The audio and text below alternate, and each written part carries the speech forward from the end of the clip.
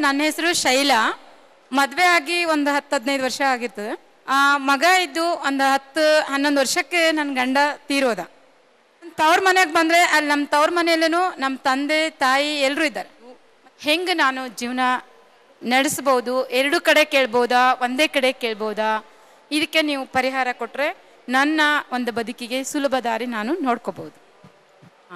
ಪಾಲ ಪಾಲ ಮಾಡಿ ಈಗ ಏನಂತಾರ? ಅವರು ನಾನೇನು ಹೋಗಿ ಕೇಳಿಲ್ಲ ಅವ್ರಿಗೆ. ನೀವು ಮೊದ್ಲು ಹೋಗ್ರಿ. ನಿಮ್ಮ ಮೈದನ್ನ ಕೂಡಿಸ್ಕೊಂಡು ನಿಮ್ಮ ಅತ್ತೆ ಮಾವನ ಕುಂದಿರ್ಸ್ಕೊಂಡು ಕೇಳ್ರಿ ಬಾಗ ನೋಡ್ರಿ ನನಗೊಂದು ಗಂಡ ಐತಿ. ನಿಮ್ಮ ಮಗ ಅಂತೂ ಹೋಗಿಬಿಟ್ಟಾನ. ಈಗ ನನಗೆ ಭಾಗ ಬೇಕು. ಹತ್ತು ಎಕರೆ ಗದ್ದೆಗ ನಾಲ್ಕು ಐದು ಎಕರೆ ನನಗೆ ಐದು ಎಕರೆ ಮೈದನಗ ನನಗೆ ಬೇಕಂತ ನೀವು ಹೋಗಿ ಕೇಳ್ರಿ. ನಾವು ಕೊಡಗಲ್ ಪಡಗಲ್ ಅಂತ ಚರ್ಚೆ ಮಾಡಿದ್ರೆ ನಮ್ಗೆ ಹೇಳ್ರಿ. ಒಬ್ರು ಅಣ್ಣ ಒಬ್ರು ತಮ್ರಿ. ಅವರಿಬ್ಬರು ನೀವು ಒಬ್ರು. ಮೂರು ಪಾಲು. ತಾಯಿ ತಂದಿಗೂ? ಅಂತ ಈಗ ನೋಡ್ರಿ ನಿಮ್ಮ ಐದನ್ ನಾಲ್ಕು ಎಕರ್ ನೀವು ನಾಲ್ಕು ಎಕರ್ ತಗೋಬೇಕು. ಎರಡು ಎಕರ್ ಅವ್ರಿಗೆ ಕೊಡ್ಬೇಕು. ಆ, ಇಲ್ಲ ನಿಮ್ಮ ಅತ್ತೆ ಮನೆಯಿಂದ ಮಾತ್ರ ನಿಮ್ಗೆ ಕೊಡಲೇಬೇಕು. ನಿಮಗೆ ಭಾಗ ಇದೆ.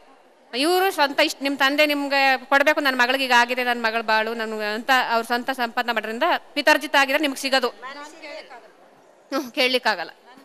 ಅವ್ರು ಇಷ್ಟಪಟ್ಟು ಕೊಡಬೇಕು ಅಷ್ಟೇ. ನೀವು ಬಲವಂತ ಮಾಡೋಕ್ಕಾಗಲ್ಲ. ಆಸ್ತಿ ಒಳಗ ಹೆಣ್ಣು ಮಕ್ಕಳಿಗೆ ಗಂಡು ಮಕ್ಕಳಿಗೆ ಎಷ್ಟು ಹಕ್ಕು ಐತಿ ಹಂಗೆ ಹೆಣ್ಣು ಮಕ್ಕಳಿಗೆ ಅವರಷ್ಟನ್ನ ಹಕ್ಕು ಐತ್ರಿ.